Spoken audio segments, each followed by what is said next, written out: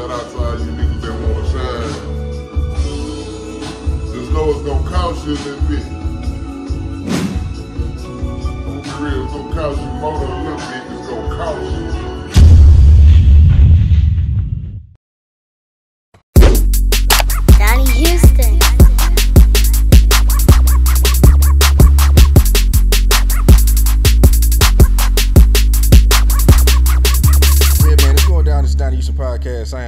Houston. Check it out, man. We got a very, very special guest, man. And I just said it before. You know, when we introduce people, man, legendary. We talking about legendary for real, man. We talking about the foundation of Houston hip hop, man. We talking about the leader of the SPC. We talking about K-Rino, man. What's going down? Man, I'm blessed, man. Just honored to be back in the building with you, brother. Appreciate you. Appreciate my brother Droop over there, man. Always honored to come and be a part of your platform, man. It's an honor, man. It's an honor. So, so what's new? I know you got the new music, but other than that, we'll get to that. But what else you got going on, man? Man, just just pushing, man. Just grinding, um, trying to keep the Houston scene uh, relevant. To do my part to try to keep it. There's so many great artists that's doing that, but I'm just trying to be one of them and keep pushing this thing forward, man. Is that because I mean, you at, at this point now you're in what? How many years you're in now? You uh, it's somewhere in the thirties, thirty. Yeah, yeah. Coming up on 40. Um, Oh shit. I started rapping in '83, so been rapping 38 years. That sounds crazy when you say. Yeah. But um, the business side, I jumped in in like '86, so even that's coming up on, on 40. So just blessed, man. Been doing it long. That's all I know. Almost forty years, man. What what is it that keeps you like? Cause I mean, you still rapping at a high level. You know what I mean? Like it ain't no lazy bars. You know what I mean? It's still there, man. What keeps you like, like Man. motivated like that? God blessed me, man. He blessed me with a lot of um, uh, motivation, a lot of uh, ideas, and he blessed me with uh, a core audience that that keep me going.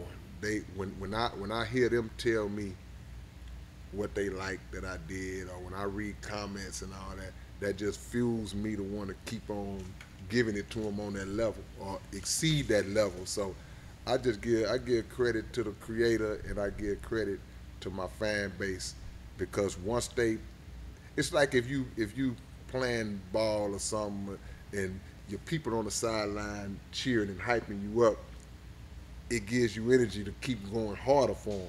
So I can't never, like you say, lazy balls. I can't never do that because I done set a standard. That's that we'll talk about that. We talk about the album, but that's the premise of that, the new album. Yeah. Yeah, yeah.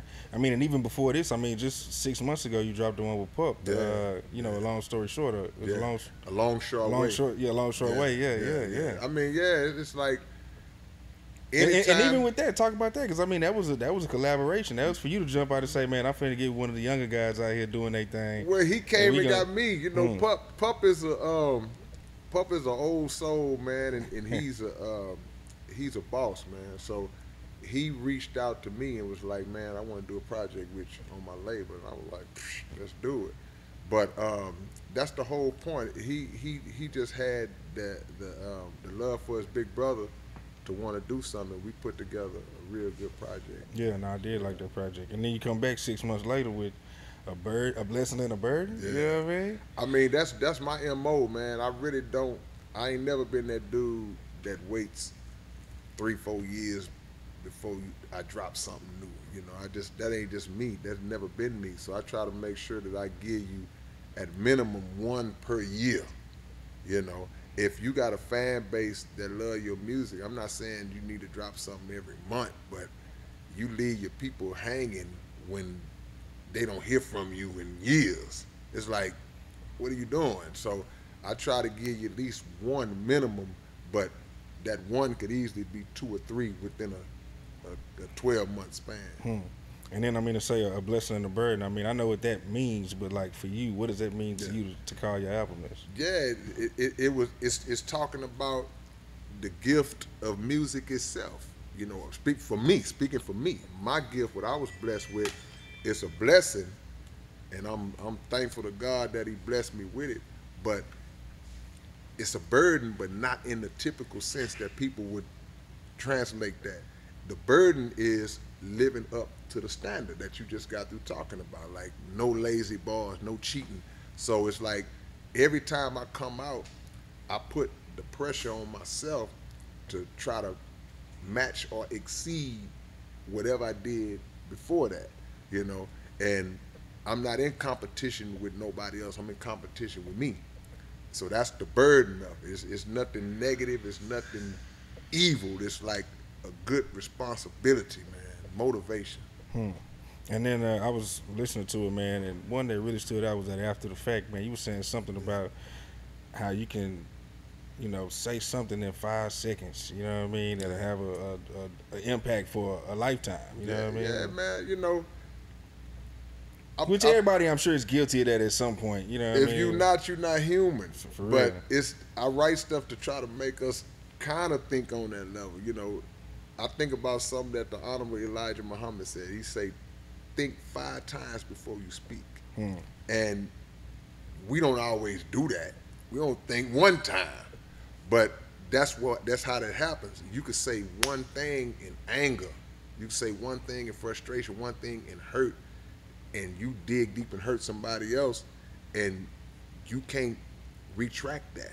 It's like, you know when you said it, you like, oh man, I, I went too far, you know. So But it's too late. too late. Just that split second of words can cut for a lifetime, man. So we just got to be careful and control our emotions more. Think we got to be more mathematical in our approach with each other to say, I'm gonna say what needs to be said, not what my emotions drive me to say, because I'm trying to get back at you or try, I'm trying to so-called win the argument. Yeah. Yeah, yeah. Is it any? Uh, man, what's your favorite record on here? Man, my favorite record on there might be the first track on there, uh, Upper Echelon. I'm just spitting some some rapid fire lyrics on there. You know, I wanted to start the album out right with that one. You know, just to let guys know, just like you said, look, ain't nothing changed. You know, we we still tearing their heads off, and we gonna give it to you right out the gate. Yeah, Yeah. Do you? Uh, who was some, some of the producers you were working with on here? Man, some of the guys are new. Well, Supreme. You got Supreme. Su- Supreme. I've been rocking with Supreme for years. Yeah. Um, but and South Beats, been rocking with him for years. But my homie, um, my homie Martial Arts from Galveston County, um, my homie Dollar Dollar Bill, he dropped some. He dropped about five or six on there, man, along with some other guys that just reached out to me online. They was like, man, you taking tracks? I'm like, yeah. You know, I'm I'm that dude that man. You send me some beat. If I like them, you gonna hear your beats on my album. You know what I'm saying? Uh, it ain't no stuff you gotta dig through to get to me. If you jam it, we gonna work. Yeah, being that because I mean you you've been in the game. Shit, we just said almost forty years. You know what I'm saying? And the world has changed so much. And like we watch like DaBaby. You know what I'm saying? Who's Yeah. who's getting in all the issues that he's having Right. right now. You know what I mean? To say some of the stuff he said, like that shit would have been all right. You know, maybe 15, 20 years. You know, back in the day. Do you now? Uh, are you more conscious of like going into your writing process of like, okay, let me say some things different. Let me be conscious of this or. I mean, yeah, it. I was I was doing that before the cancel culture even was born, but I was doing it from a standpoint of, of growth and maturity within myself. Just coming from people who would meet me and say, "Man, I listen to your music, but what I like about your music now is I can ride with it while my little children is in the back seat. They can listen to it." So that's what initiated the change for me to say, "Okay, I want to say this, but nah," because I try now to make my albums as as profanity free as possible. You know, you're gonna still slip one in there here and there, but if you listen to my last 15, 20 albums, the cursing is like super, super low. You know what I'm saying? So as far as um, certain terms and certain derogatory uh, words here and there that have become red flags in, in, in society, I can't say that I'm I'm I consciously duck that now because I was already on that path, but I know a lot of people do. But to speak on that situation, to be honest with you, man, I mean, we are in that cancel culture where we don't even give people an opportunity to make a mistake without just decapitating them instantly and being a moral judge like we don't make mistakes like we don't talk crazy. And sometimes people say things and get criticized heavily for saying things by people who are out doing things that are worse than what somebody is saying. So we just we just love to sit behind a keyboard and and counsel people. And, and a lot of times we canceling each other you know. Um, there are things that, that that other groups of people that can do to us and have done to us for decades and decades man and centuries that we continue to let slide and we give them passes over and over again but when one of our own has a slip of the tongue or if one of our own is not educated you know they haven't been educated or they have not grown and matured to where they Fully understand, not right, to right, say- right. we just that's it for them that's it for them and um, these platforms the national platforms that a lot of black people are given we use those platforms to tear other black people down. And we got to stop doing that. We got to be what they call on code you know? It's all right if, if something happens if DaBaby or whoever else comes out and they say something or they do something that we we might agree is is out of pocket we got to call them in the room you know hey brother hey said this you said that hey, be careful about but we not gonna be trying to just cancel each other you know like we just the more judge of, of each other like that Yeah, yeah.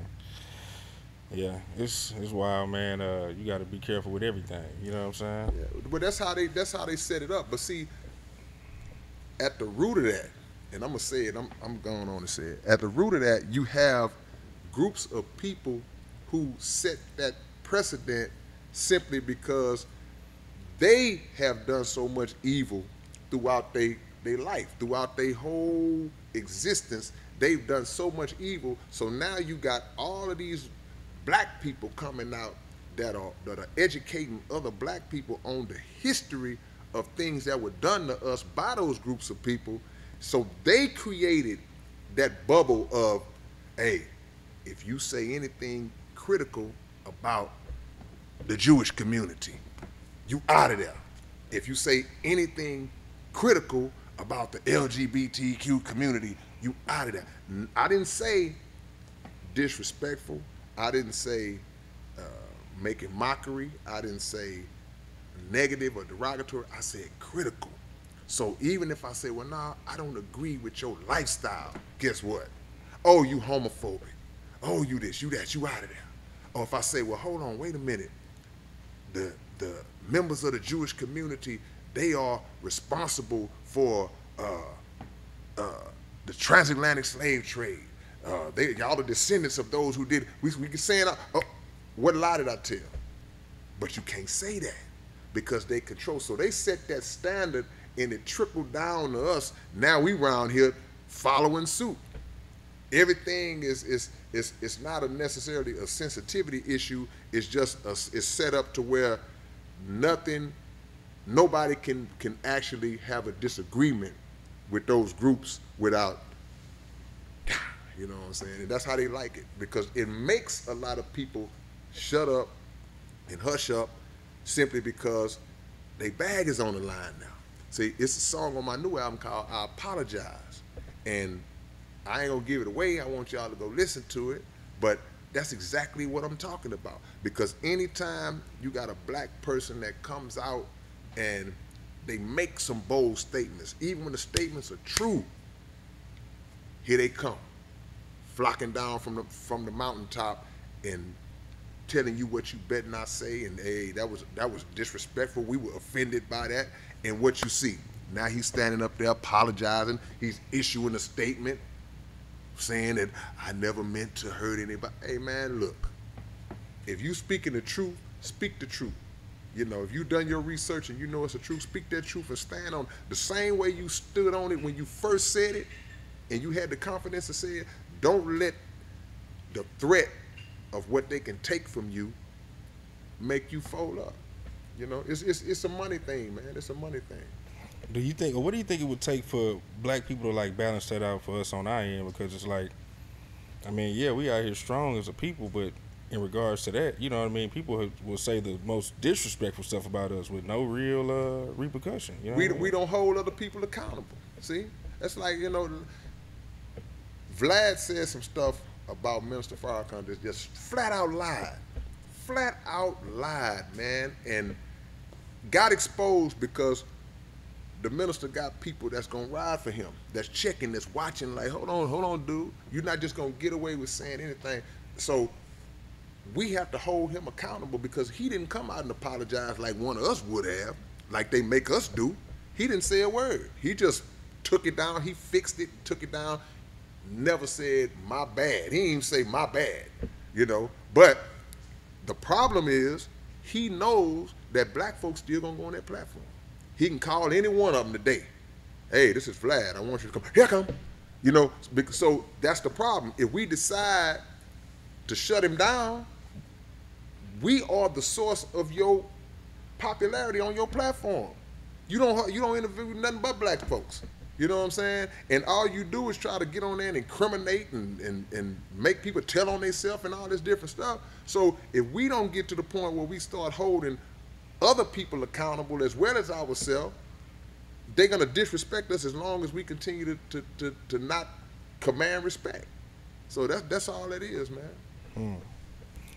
That's a good point, man. Talk about uh, talk about your decision because I mean, you started to venture off, man. And we're gonna get into some other stuff, but the author, you know what I mean, two books out, you know what I mean. That's that pandemic, man. I mean, I was sitting around and didn't have nothing to do, and wrote a whole book, you know. And um, and and for years, people were like, "Man, Kay, write a book, write a book," and I was like, "I don't know what to talk about." So I was like, "Man, you know what? I'm just gonna talk about my life up until this point. You know, my upbringing, things that people don't know. You know, my family and the stuff like that." So the, the first book I wrote was called Life Lessons and Lyrics, and um, uh, then a few months later, I wrote Behind These Bars, and that one was basically talking about the thought process behind some of my lyrics, some of my bars, and like songs I wrote. Why'd you write this song? The breakdown of the lyricism, you know, like people can hear you say something, but that book shows you what I'm saying, and it highlights the actual uh, process of putting the song structure together. And when you read it, man, it's like a teaching tool. You know, I, I'm I'm talking so much trash about that book because I'm like, man, that book should be part of curriculum. I gotta get into this one. I read this one, but I gotta get into this One. Yeah, that's the latest one. Yeah, Yeah. yeah, it, it's it's breaking down, man. That that should be in, in high schools and colleges, you know, and not just for rappers, you know, because people say, well, you're a rapper writing that book. No, this this this is for anybody who has the um, the desire to want to write. You can read that book, and it will really, really show you not how to write, but it'll give you tips on how to make your writing stronger. In my opinion, that's just how I look at it. Yeah, and you can get these both on Amazon. No, no. You get those both straight from me, from SouthParkCoalition.net. There it is. Straight from straight from the Straight source, from the man. source. We put it right in the vein. Yeah. That's what it is, man. And then the other day I'm riding and I I hear uh, a, a, a voice, a very familiar voice. You know what I mean? I said, man, I had to look. I said, wait, is this K-Rino on my radio? What's Yeah. going on, man? Yeah. That was congratulations on that, man. Like I, I real live was like, man, I'm I'm glad to hear K-Rino on the radio. Well, you know, I got a buddy of mine, man, and I'm gonna use this moment to plug him, man. He's an attorney. His name is Anthony Maharib, and you know we shoot ball together. And he was like, "Man, I want you to do a commercial for me." And I was like, "Yeah, let's do it, man." So um, I put the commercial together for him, and you know he did everything because he put the advertising uh, dollars in place. And because people were laughing like, man, K-Rino on 97.9? I'm like, it ain't, don't- don't, don't celebrate that like they playing none of my music. They'll take anybody's advertising dollars. So yeah, you know, just shout out to my brother Anthony Maharib, man. And um, you know, we got we got a lot of stuff, uh, a lot of commercials that we've done. Um, some that I've uh, rapped on, well, the one that I rapped on, but we've done a lot of collaboration work together. So that so that's why y'all hearing me on the radio. Don't give the station no credit. you know, shout out to my homie Ant. Yeah. Man, how early does that go back with you though with the whole radio thing? Like, Well, I mean, early on, uh, we was good. We, I didn't have no problems with. I, I still don't have no problems with radio. People always say, "Well, man, you, I know you don't like the radio." I'm like, "Where you? How can I? I don't have nothing against the radio. I have something against uh, radio personalities who try to make themselves bigger than what they are. You know, again, it's the same scenario like with a guy like Vlad. It's the same thing. You are only relevant because of the, the music that you play. Nobody cares about you. You are a, a, a radio guy. Y'all are interchangeable. We've been in Houston all our life. We see those guys come and go. You know, who cares who's playing the music? We just love the music. So when you make yourself out to be bigger than who you are, bigger than the artist, and you try to reach a point where you think that you um, can uh, control the artist, you know, we got to take our power back from whoever it is. You know, we got to take our power back. When when these when these concerts come, the people are, are, are going out buying outfits. The people are uh, taking showers and gassing their cars up and cleaning their car. They doing that, paying money for tickets and, and parking. They going to see that artist. Don't care nothing about no dude who playing the record. You know, so humble yourself. You know, humble yourself and understand your place. And you try to um, put hang a cloud over an artist's head that they better walk a certain line if they want to keep that spot. So Trae always come to my mind. It's like, dude, name a rapper who does more for the community than Trae. You know, I'll wait. So for him to still be suffering from this this so-called ban that they have, you know, that Radio One has over him behind some BS, man. All these years later, and this dude don't do nothing but good for the community. He's done more individually than uh, uh, 97.9 or uh, Radio One as as a company have ever done for the city of Houston. You know, in my in my view. So why are you still holding that? You know, it just we got we got to take our power back, man. Straight up. Yeah, do you? Cause you said, I mean, I don't know. You said it was like, man, we were good. You know what I mean? What was the what was like the turning point of like? Well, because my thing was, I think I had a situation where I was lied to. You know, I was see, I'm I'm big on if you say you're gonna do something, do it. You know, so I think with me it goes back to just a situation where I was told something was gonna happen and it didn't happen, and I checked the person about it. Like, okay, well, you know, I'm, hey, what's up? What, what's up with that? So when I ask you about it, and then you act like you don't know what I'm talking about, now you fake. That's how I look at it. Now you now you're not an authentic individual in my eyes no more. So that's what did it for me. Uh, but I never was like banned or nothing like that. It wasn't no situation where I was banned. It's just the fact that I will declare war on my own if I feel like you've been fake with me. You know, it's like, okay, you know what, now at this point, you are somebody who's on my list of people who I don't like, and I'm gonna go at you now. You know, that's all that was with me. Mm. That's what's up. Well, I ain't gonna say that's what's up, but It is what's up. it is. yeah, yeah. There ain't, ain't nothing they can do about it, you know. And, and it, it happened so long ago, you know, that it's not something like we in these kind of settings, you know, we'll talk about it, but you know, my my my reality is, man, I've been so blessed that again I have a core fan base that has supported me like we just talked about for almost 40 years. I'm free and I don't have to walk on eggshells around no radio guys, no radio, no no no corporations, none of that. You know, so it, it's a good feeling for me to where I can say whatever I want to say about them. You mm. know, and I don't have to worry about they ain't gonna play my single no more. You know, because I'm just one of them people that felt like, I, and I say this all the time. I just I just felt like the rappers in Houston should have got behind Trae when that first happened, and they would have nipped it in the bud. If if everybody would have got together, maybe we could have held a press conference and got together, and, and you and you would saw all of the top rappers in this city standing with him, like, okay, we're gonna let 97.9 know, we're gonna let Radio One know that we not gonna stand for y'all doing this.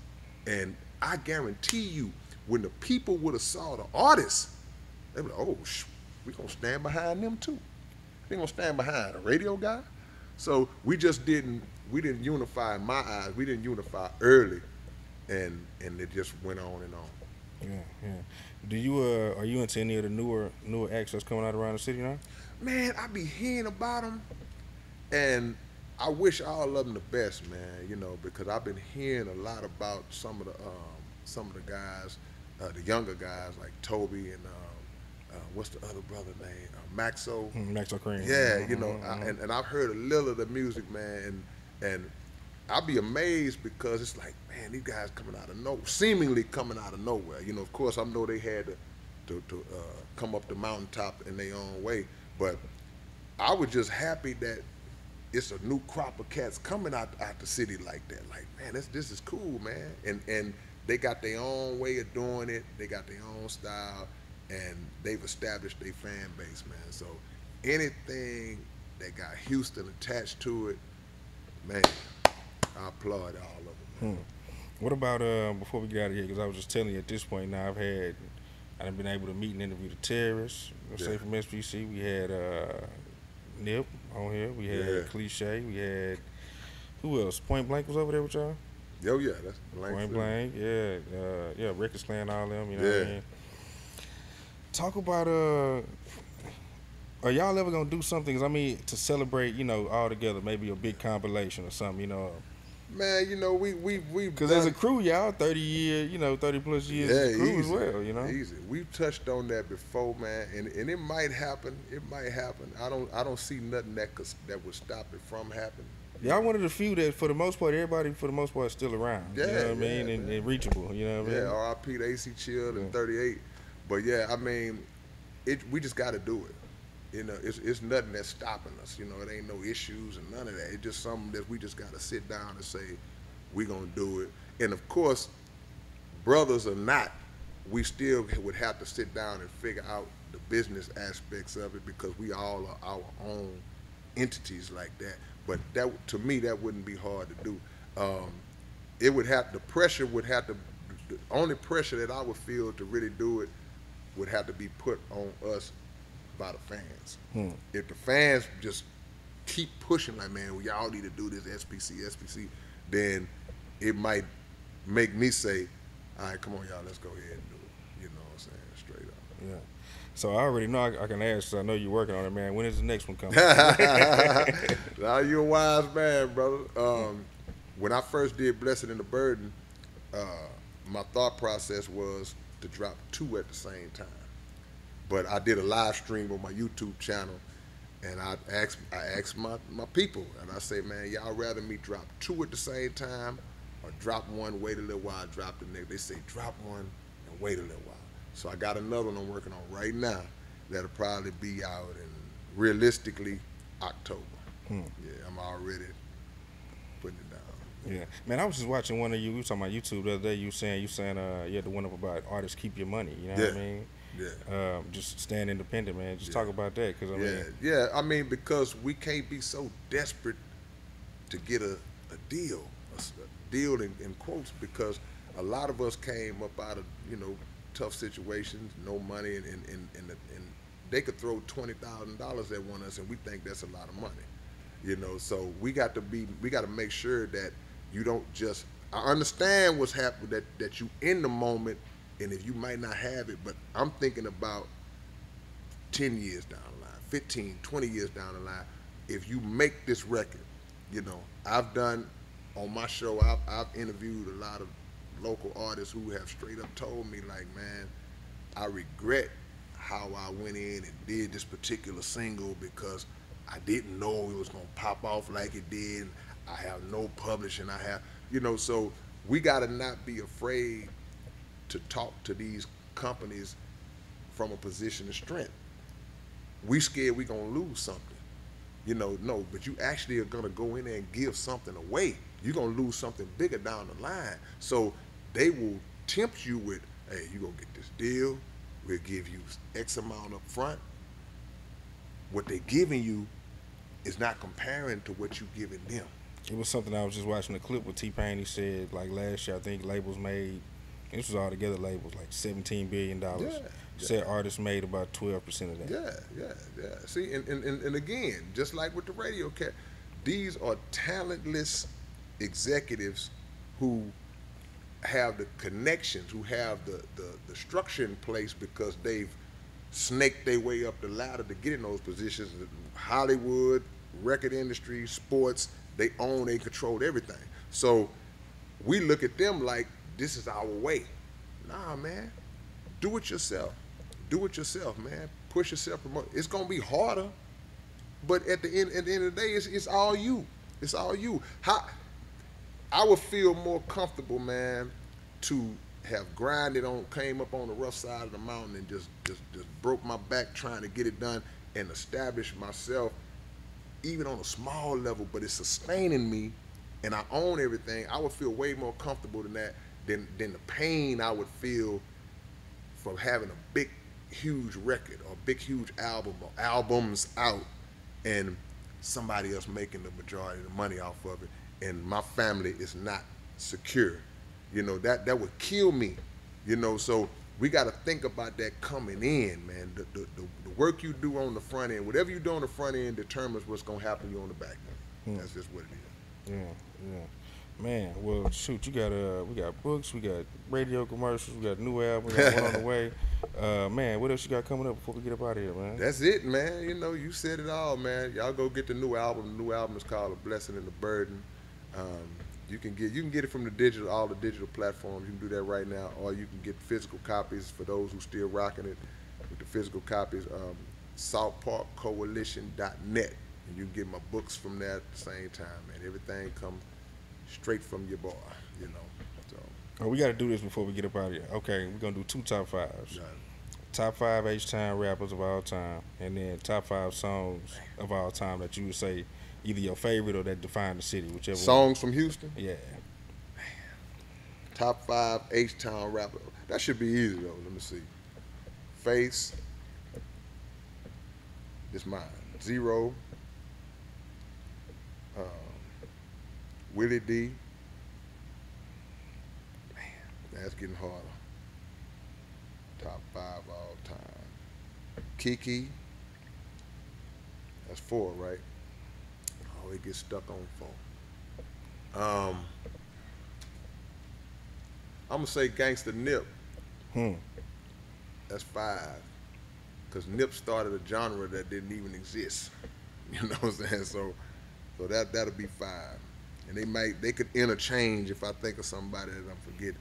Now, song wise, um, it would have to be um, the first single, the Scarface single. I knew, I knew you. I knew you were gonna say that. Yeah, you know, because that's that's the first song that really Houston got behind. That the hood, the city got behind. That's the first song that we was in a club just chilling on the wall, and it was a local song. And when it came on, everybody went crazy. Up until that point, when you played local stuff, people were kind of just, yeah, you know, or they wouldn't respond at all. That's that's the first local song that I remember that's like the city really. That when I I talked about that in one of our when I heard that song, I was like, man, we they really will support you if you're jamming. so you got that song, you got um, the Mo City Don song was by Z-Ro. You got Southside by Keke. So I'm basically naming songs from the top five rappers that I just named. Um, two more songs, man. Trying to think.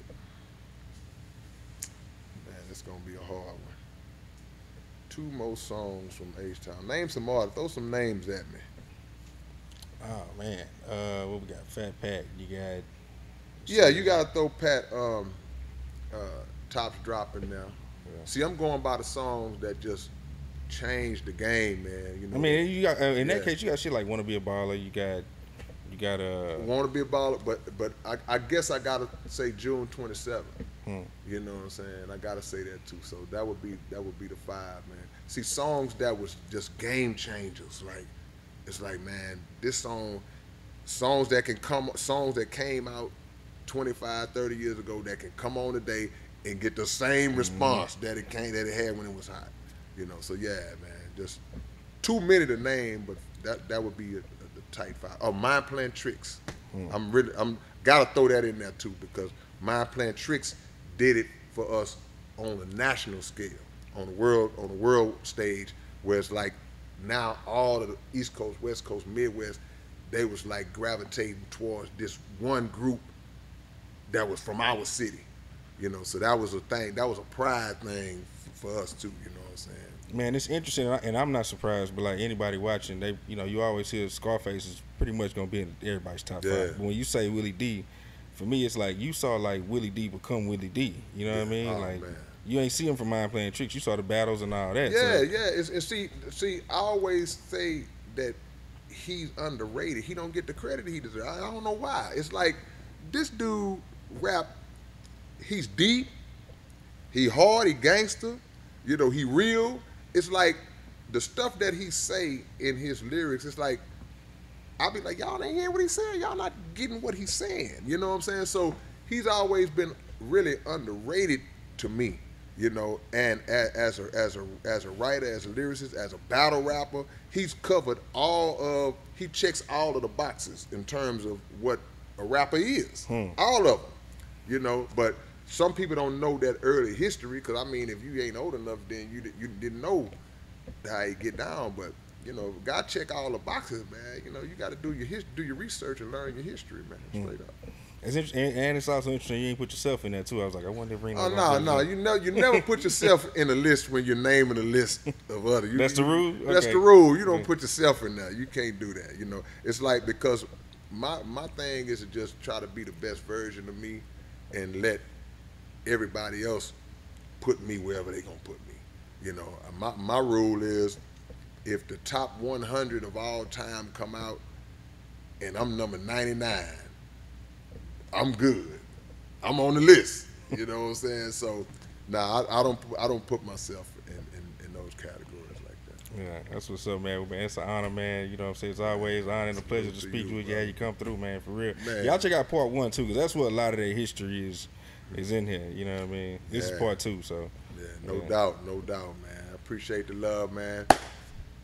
One love. Subscribe to your Big Brother's YouTube channel too, man. The real K-Rino, man. And peace. and, and the rest of your social media too. Uh, Oh man, I'm on, I'm just on Twitter and Facebook. Uh, the real K-Rino on everything. you don't do the Instagram? Nah, I ain't on the ground. I got it's a lot of pages of people that you know, but I ain't I ain't on Instagram at all. Yeah. You know, I'm, I'm I'm still in the Stone Age on Instagram. That's what's up, man. Well, hey, man, it's Donnie Houston Podcast. K-Rino, we out of here. Donnie Houston.